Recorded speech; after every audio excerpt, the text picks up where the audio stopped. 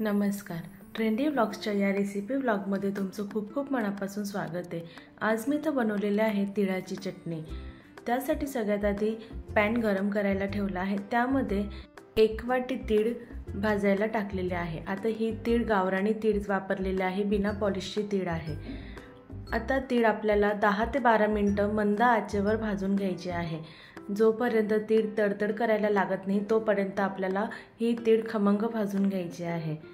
दहा ते बारा मिनटानंतर तीळ छान अशी खमंग भाजली जाते. इथं तुम्ही बघू शकता की तीळ छान अशी भाजली गेलेली आहेत ती तडतड पॅनमध्ये ओढते म्हणजे आपली तीळ भाजली गेलेली आहे. आता ही तीळ गार करण्यासाठी एका ताटामध्ये ट्रान्सफर करून घेते. पुन्हा पॅन गॅसवर ठेवायचा आहे आणि गॅसची फ्लेम मंदच राहू द्यायची आहे. आता मंद आचेवर आपल्याला त्यामध्ये कढीपत्त्याचे पानं आणि तीन ते चार लसूणच्या पाकड्या दोन ते तीन लाल सुक्या मिरच्या भाजून घ्यायच्या आहे. चार ते पाच मिनटापर्यंत आपल्याला हे भाजून घ्यायचं आहे म्हणजे आपले जे कढीपत्त्याचं पानं आणि लसूणमधलं जे मॉइश्चर आहे ते पूर्णपणे नाहीसं होतं आणि जी चटणी आहे ती जास्त वेळपर्यंत टिकते. त्यामुळे आपल्याला हे साहित्य भाजून घ्यायचे आहे. आता हे सगळं मी मिक्सरमध्ये पल्स मोडला ऑन ऑफ करून दोन ते तीन वेळेस वाटून घेणार आहे.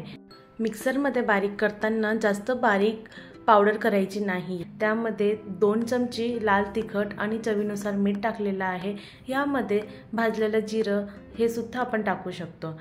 लाल तिखटचं प्रमाण आपल्या आवडीनुसार आपण कमी किंवा जास्त करू शकतो. आहारामध्ये तीळ खाणे हे खूप फायदेशीर आहे. आणि अशी जर तिळाची चटणी बनवून ठेवली की ती अगदी दोन ते तीन महिन्यापर्यंत खराब होत नाही. बरेच लोक फक्त थंडीमध्येच तीळ खातात. पण वर्षभर आपण ही तीळ खाल्ली तरीसुद्धा आपल्या शरीरासाठी खूप चांगली असते. इथं आपली तिळाची चटणी तयार आहे. आता खानदेशात बऱ्याच ठिकाणी तिळची चटणी बनवताना कढीपत्ता आणि लसूणचा वापर करत नाही. कढीपत्ता आणि लसूणसुद्धा आपल्या आरोग्यासाठी खूप चांगला असतो. ह्या पद्धतीने जर तिळची चटणी बनवली नसेल तर एकदा नक्की करून बघा. चवीला खूप छान लागते. पूर्णपणे गार करून घ्यायची त्यानंतरच आपल्याला एट टाईट डब्यामध्ये स्टोअर करायची आहे. म्हणजे ती जास्त वेळ टिकते आणि खराब होत नाही. खमंग अशी तिळाची चटणी तयार आहे. व्हिडिओ आवडला तर नक्की लाईक शेअर कमेंट सबस्क्राईब करायला विसरू नका. लवकरच भेटू पुढच्या ब्लॉगमध्ये थँक्यू